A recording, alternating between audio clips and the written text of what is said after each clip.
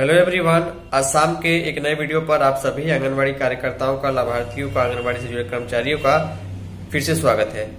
आप सभी को मालूम है कि हमेशा से आंगनबाड़ी केंद्रों के लिए किराए का जो पैसा सरकार का खर्च होता है, वो एक बड़ा मुद्दा रहा है। इसी के संबंध में पिछले वर्ष ही प्रयास किया जा रहा है कि जो भी भवनहीन या फिर किराए में चलने वाले आंगनबाड़ी केंद्र है, उसको नज़दीक के प्राथमिक सॉरी, सरकारी विद्यालय में शिफ्ट कर दिया जाए। लेकिन इस पर अमल नहीं हो पा रहा है, काम नहीं हो पा रहा है। इसी बीच जहाँ भी आंगनबाड़ी केंद्र पुराने भवन में चल रहे हैं, किसी तरह उनको चलाया जा रहा है, वहाँ पर बच्चों की जान का खतरा है, सांप, बिच्छू वगैरह का खतरा है, क्योंकि वो भवन काफ़ी जर्जर है और आसपास काफ़ी झाड़ियाँ भी है। इसी के संबंध में गया कि आम से खबर प्रकाशित की गई है। चलिए डिटेल में आज शाम के लिए मैं खबर दिखा देता हूँ।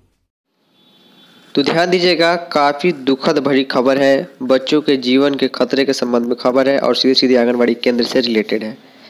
शीर्षक है कि सांप बिच्छू को लेकर डर के साय में चलता है महुआवा आंगनबाड़ी केंद्र। केंद्र तो चल रहा है, आंगनबाड़ी केंद्र पर बच्चे भी आ रहे हैं, लेकिन उनको जान का डर है कि कुछ घटना उनके साथ कभी भी हो सकती है क्योंकि केंद्र की स्थिति इस प्रकार की है जहाँ पर सांप बिच्छू कभी भी निकल सकते हैं।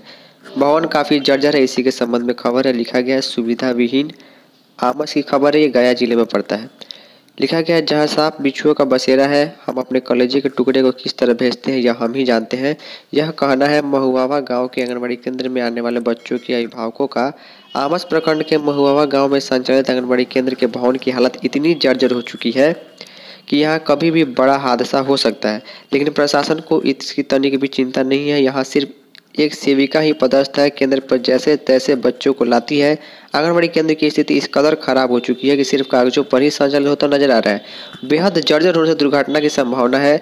आंगनबाड़ी केंद्र का भवन बेहद जर्जर होने के कारण बच्चे कभी भी हादसे का शिकार हो सकते हैं। ईश्वर विभागीय और अन्य अधिकारियों की नज़र नहीं है। करीब उन्नीस सौ छियानवे, देखिए उन्नीस सौ छियानवे में जो है, भवन बना हुआ था, यानी इस हिसाब से देखा जाए तो 28 साल पूरे हो चुके हैं। सेविका आशा कुमारी के अनुसार खिड़की का बाढ़ के टूटे वर्षों हो गए हैं, लेकिन आज तक इसे किसी ने भी ठीक नहीं कराया। फर्श पूरी तरह टूट चुका है, छत दीवारों में दर्जने दरारें खुली हुई हैं। साफ़ बिच्छुए के होने के डर से सेविका और बच्चे सह में रहते हैं। लिखा गया विभाग को कई बार पत्र लिखा गया, लेकिन फिर भी सुनवाई नहीं हुई है। वहाँ के सीडीपीओ मंजू कुमारी कहती है, विभाग के पास भवन बनाने का कोई फंड नहीं है, वरीय अधिकारी इस बारे में कई बार लिखा जा चुका है, लेकिन मुझे अब तक कोई जवाब नहीं मिला है।